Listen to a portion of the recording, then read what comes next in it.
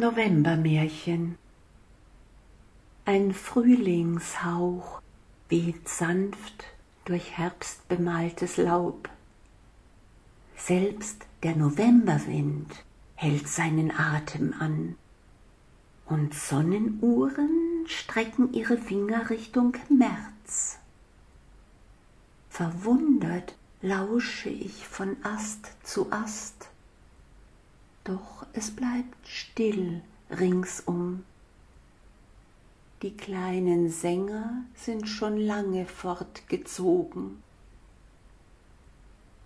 Allein die Sehnsucht webt ihr zartes Kleid um mich, vielleicht zum Trost weil mir mit einem Mal die kühle Luft so trüb nach Abschied schmeckt.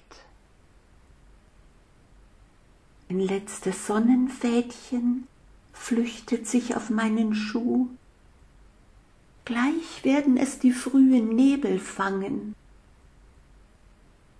Das darf nicht sein.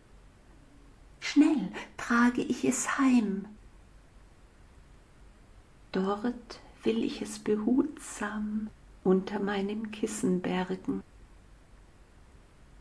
dass ich mich daran wärmen kann bei Nacht.